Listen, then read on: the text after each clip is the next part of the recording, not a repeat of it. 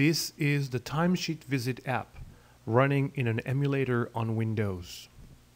The app was developed with jQuery Mobile, Visual Studio 2010, and my framework Chaka. Thanks to jQuery Mobile, the application run on iPhone, iPad, and Android devices. The app in itself is not amazing, but what is more interesting is how the application was developed.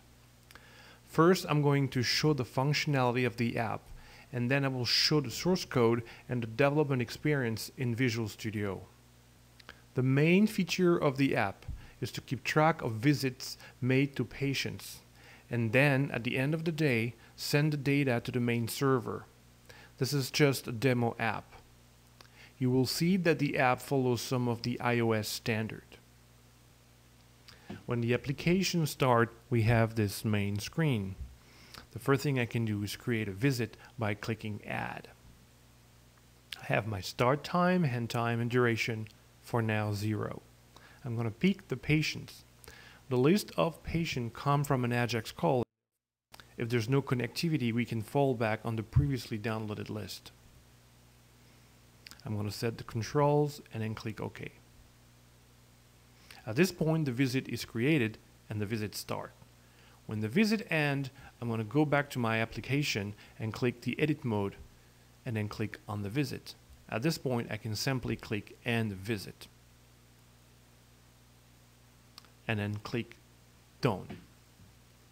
I'm going to cheat a little bit and create data.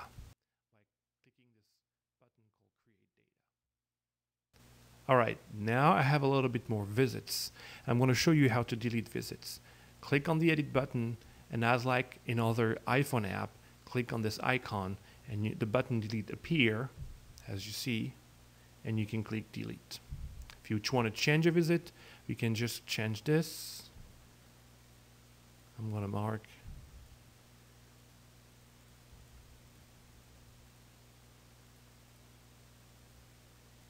All right, now I'm done. That's the end of the day, and I'm ready to send the data to the server because I know I have connectivity. Before that, I'm just going to go to options. I'm only interested in seeing the visit that have not been sent to the server. The application stores the data in an object-oriented database locally on the device. At this point, I'm going to click Send, and the visits are sent. We have in the option dialog a nice About, which show, among other things, some information about the device